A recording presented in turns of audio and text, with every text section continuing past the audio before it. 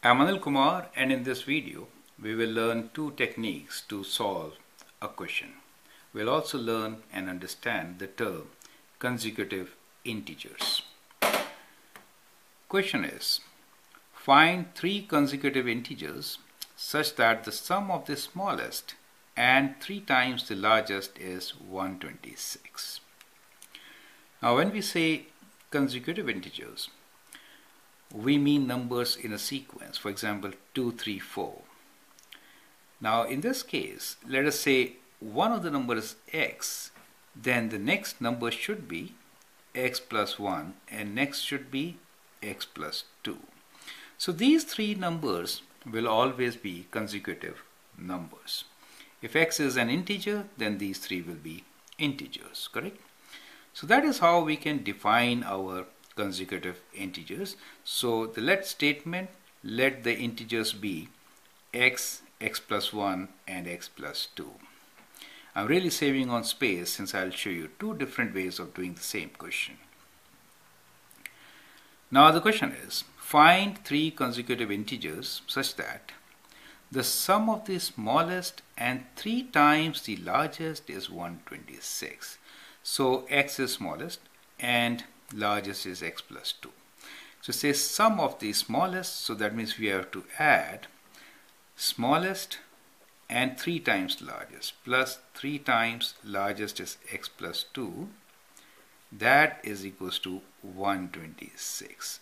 So from this statement we get the equation. Now this equation is in one variable we can always solve for x. Let's expand using distributive property. So we get 3x plus 6 equals to 126.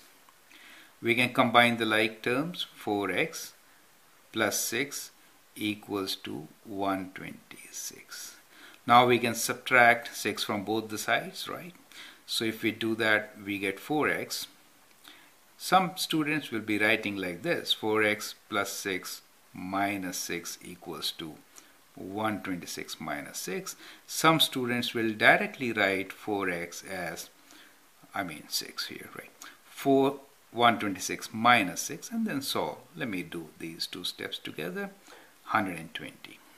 Now we can divide by 4 each side, so we get x here and 120 divided by 4 and that is 4 times 3 is 12 and then 0 is 30.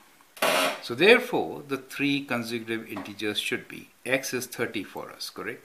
So the numbers are 30, 31 and 32, correct? So that is how we can solve the question. Now the alternate way is basically redefining your variable. So this time what I will do is I'll define my integers like this. If one integer is x, the other one is one more, and the smallest is one less. Do you see that? So at times, when we're talking about three consecutive integers, you can also define like this, and then you can redo the question, right? In this case, it doesn't really simplify your work, but in case, in some cases it does. Well, anyway, let us solve this. So the smallest is x minus 1, plus 3 times the largest, which is x plus 1, is 126. So we have x minus 1, distributive property is 3x plus 3 equals to 126. So 3x plus x is indeed 4x and 3 minus 1 is 2. So we get 126 and then we can take away 2. So we get 4x equals to 126 minus 2 which is equals to 124 right? So 4x is 124 x is 124 divided by 4 which is 31 so x is 31 this time for us.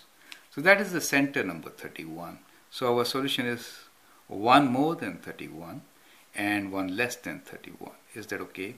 So these are the same numbers.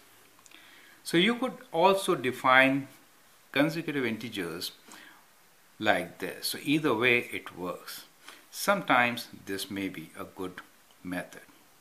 I hope you appreciate it. Thank you and all the best.